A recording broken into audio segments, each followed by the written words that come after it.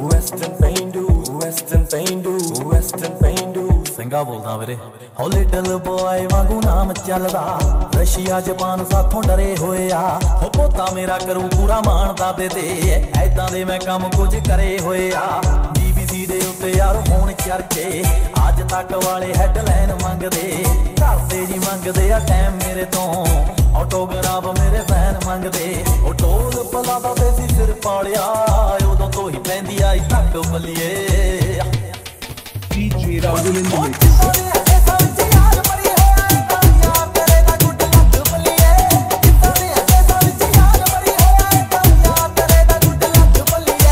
ਜੱਟ ਦੀ ਕਲਿੱਪ ਵੀ। ਹਾਂ ਜੱਟ ਦੀ ਕਲਿੱਪ ਵੀ। ਹਾਂ ਜੱਟ ਦੀ ਕਲਿੱਪ ਵੀ ਨਿਊਜ਼ ਬਣ ਗਈ। ਇਹ ਬਣ ਗਈ ਜੱਟ ਮੋਰੇ ਆ ਗਿਆ।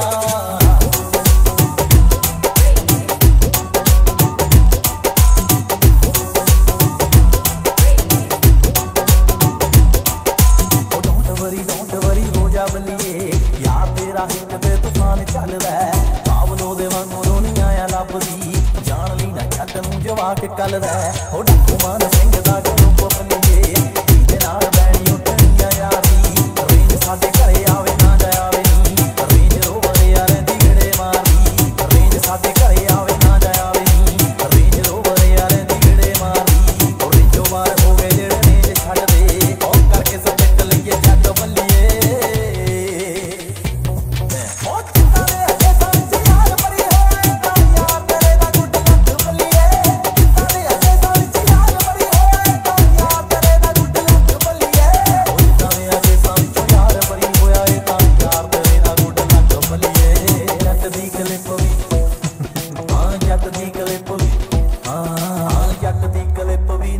ਬਣ ਗਈ ਇਹ ਬਣ ਗਈ ਨਿਊਜ਼ ਜੱਟ ਮੋਰੇ ਆ ਗਿਆ।